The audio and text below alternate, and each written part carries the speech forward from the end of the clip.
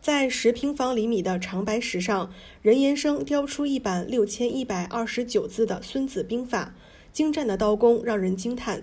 这件作品也是年逾六旬的他最喜爱的作品之一。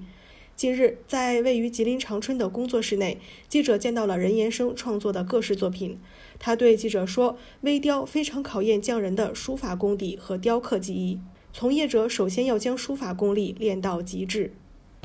雕刻出一个好作品，首先必须有个啥呢？呃，好的书法功底。因为你光写出不行，你还得给缩小。它就是有个一定难度，就是刻雕刻的时候就是以刀代笔，不允许你有一点杂念。”谈及自己最得意的作品，任延生回忆道：“创作这部《孙子兵法》前后耗时月余，为了做到完美，他还特意买了一本棋谱。为了这个棋盘，我特意买了一本，这这个这个残棋的书谱。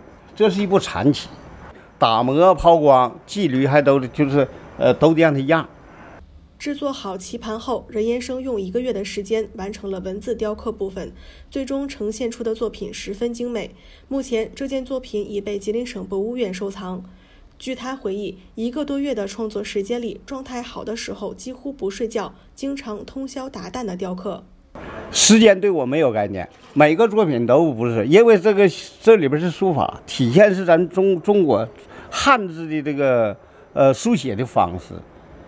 只不过是我是以刀代笔，你就看你心态怎么样，身体状况怎么样，他根本就没有时间观念。从事雕刻艺术已有几十年的任延生，目前是吉林省非物质文化遗产项目人氏微刻省级代表性传承人、吉林省工艺美术大师。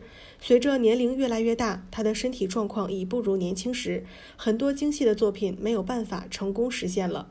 任延生表示，自己愿意多收徒弟，将他以刀代笔的微雕技艺继续传承下去，推广这项传统技艺之美。